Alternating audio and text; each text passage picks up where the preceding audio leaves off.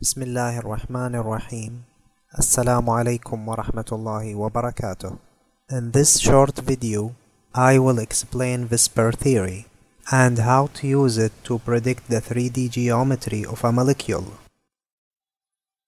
But first, I'm going to give a brief introduction about VSEPR theory. So what do you know about VSEPR theory? The word VSEPR is an abbreviation for valence shell electron pair repulsion. The theory correlates between the number of valence electrons and the molecule geometry, which means that the electron clouds want to get as far away from each other as possible. And now we have a general idea about VSEPR theory, but we want to know a little bit more about its history. So in 1939, the idea first was proposed by a Japanese inorganic chemist named Ryutaro Tsuchida.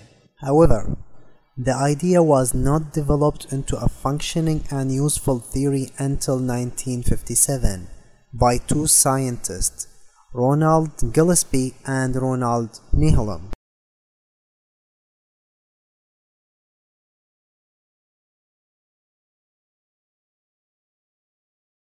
To predict the 3D structure of a molecule, you have to go through three steps. The first step is to draw the Lewis structure. The second step is to count the number of electron clouds around the central atom, then predict the geometry.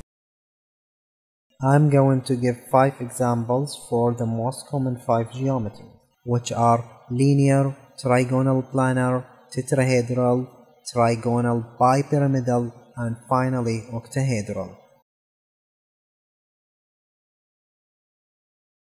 For linear geometry, we will use carbon dioxide molecule as an example.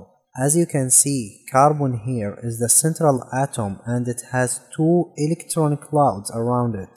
When these two electron clouds want to get as far away from each other as possible, they will create a linear molecule with an angle of 180 degrees. Molecules which have their central atom surrounded by three electron clouds such as sulfur trioxide will create a trigonal planar geometry. The electron clouds will try to get far away from each other and that will lead to an angle of 120 degrees between them.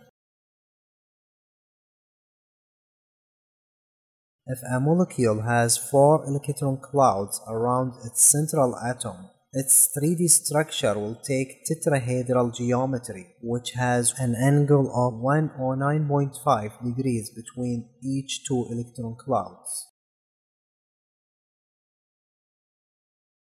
The fourth geometry is trigonal bipyramidal. The molecule will take this geometry if it has 5 electron clouds around its central atom. The resultant 3D structure will be a combination between two geometries which are perpendicular to each other. These two geometries are trigonal planar and linear.